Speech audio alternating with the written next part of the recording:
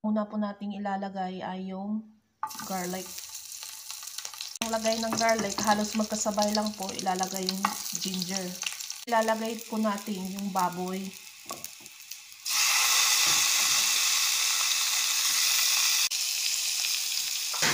Maglalagay po tayo ng kunting tubig.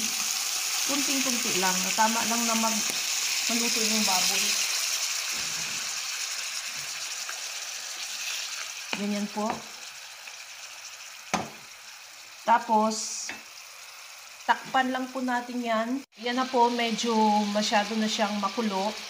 At saka, malapit na siyang matuyo yung tubig na naman. Ilalagay po natin yung vinegar. Depende po sa inyo kung gaano karami ang gusto nyo na maasin. Ganyan lang po. Tapos ilalagay natin po ay yung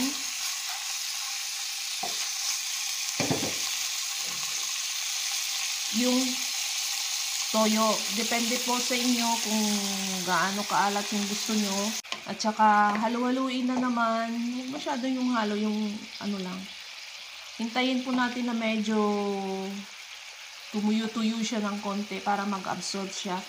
Uh, yung itlog, tingnan nyo, naluluto na siya. Titigas yan. Kaya yung pag-boil ko hindi masyadong matigas para madaling mag-absorb yung vinegar at saka yung toyo, yung soy sauce. Kasi kung masyado na siyang boil, titigas yung skin, hindi siya mag-absorb.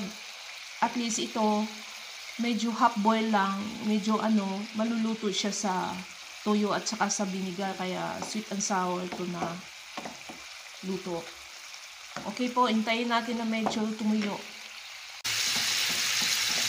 Tumutunog na po, naririnig nyo. It means na parang ano siya,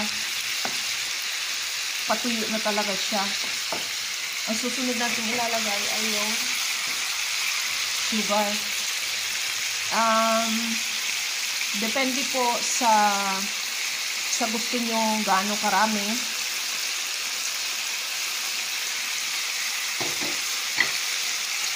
Pagitna lang natin. Ayan.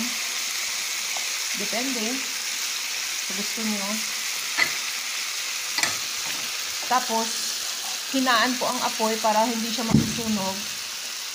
Tapos yan po, nakikita niyo yung sugar natutunaw. Parang in, parang imimelted lang siya.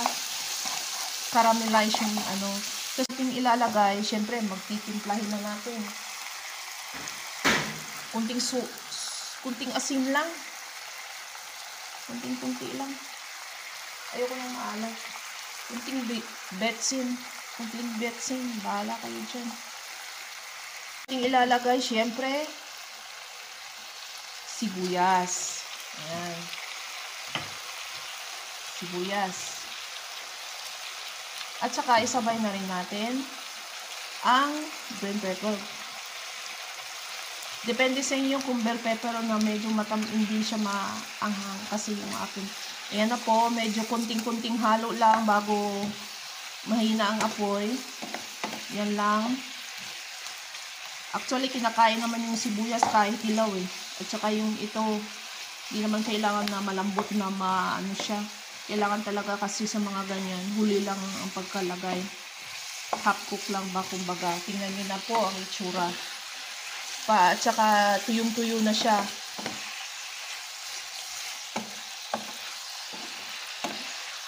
Tingnan mo, dumikit na yung sa sibuyas yung ano.